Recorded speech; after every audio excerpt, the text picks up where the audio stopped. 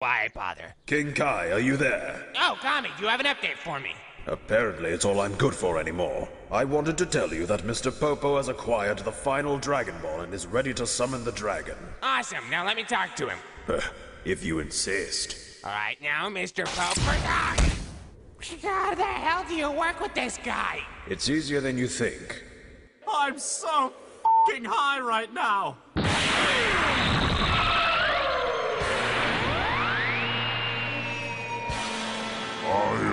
Eternal Dragon. Speak your wish and I shall... Oh, it is you, my master.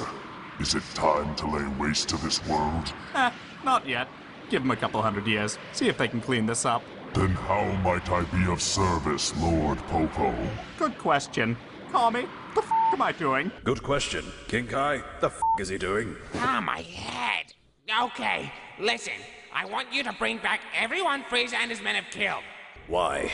Are you questioning God? Are you? Not in the mood, Kami. Fine, not my problem anyway. Mr. Popo? I heard. Dragon, bring back all the worthless maggots that were killed by Frieza and his men, or whatever. As you command, so it shall be.